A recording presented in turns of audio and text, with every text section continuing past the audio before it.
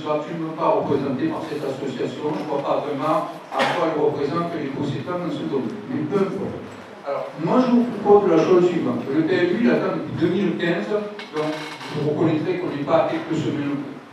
Je vous propose d'organiser un référendum sur cette question des logements sociaux et ou des pénalités financières. Parce que vous dites qu'on ne peut pas, euh, on est obligé de, de construire, on ne peut pas il y a des tas de communes qui ne construisent pas de logements sociaux.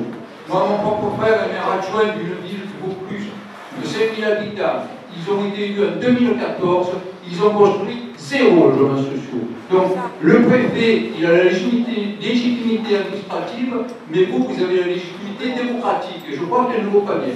Donc, moi, je propose, je fais la proposition suivante ce soir, organiser à l'automne un référendum local pour poser la question au États, est-ce qu'il peut faire plus de logements sociaux ou éventuellement plus de pénalités financières et on verra le résultat. Et à ce moment-là, il y aura une légitimité démocratique à laquelle tout le monde se pliera et on pourra continuer sur. Bien, merci. Vous avez été très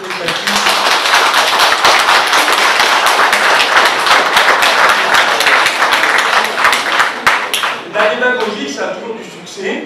Donc c'est très bien de le dire comme vous l'avez La je vous permets pas d'employer ce mot, M. Paulet. Vous ne me connaissez pas, vous ne savez pas à qui vous parlez. Donc faites attention à ce que vous dites, d'accord? Et modérez vos propos, je ne suis pas démagogue. Il est peut-être pas démagogue. Dans tous, les cas, dans tous les cas, quand vous n'écoutez pas, quand M. le maire a parlé de 76 logements, c'est 76 logements qui ont été comptabilisés sur les trois dernières années, pas sur les années antérieures. Et les logements que vous citez ont été comptabilisés sur les années précédentes. vous ne connaissez pas les détails de la comptabilisation, mais un logement n'est pas comptabilisé quand il est livré, mais quand il est agréé, c'est-à-dire souvent deux ou trois ans avant. Donc voilà pourquoi on est à 76, parce qu'il n'y en a que 76 qui ont été agréés pendant les trois dernières années donc ceux qu'on va livrer au, ceux qu'on a livrés au qu'on va livrer, c'est 34 au Coquelicot, qu'on va livrer euh, euh, aussi bien aux mésanges qu'aux Donc voilà, et les 76, c'est un chiffre exact, c'est une donnée exacte. Je suis désolé, vous pouvez la contester, vous pouvez revenir dessus. Ensuite, le, le référendum, moi je veux bien, mais je ne ferai pas. Un, ce n'est pas notre politique. Et la légitimité démocratique, je suis désolé, mais nous l'avons quand même un tout petit peu, premièrement. Et deuxièmement, ce serait un référendum illégal, puisqu'il irait contre la loi nationale. Je dirais, moi, je ne prendrai jamais le risque de me mettre dans l'illégalité en faisant un référendum contre la loi nationale. Faut pas rigoler quand même. Non, mais bien sûr, euh, on ne peut pas. Euh, il est interdit de faire des référendums pour ou contre la loi, et c'est en ça, alors, euh, c'est peut-être pas démagogique, mais c'est absurde. Alors, monsieur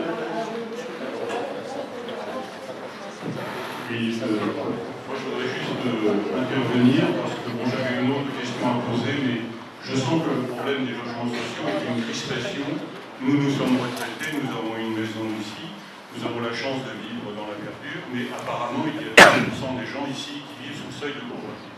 Donc pour éviter quand même que ce soit une crispation qui devienne dangereuse, peut-être pour les amis, ne pourrait-on pas imaginer qu'effectivement on a besoin de logements pour loger des gens qui sont mal logés Mais il y a derrière cette prestation une crainte d'un appel d'air.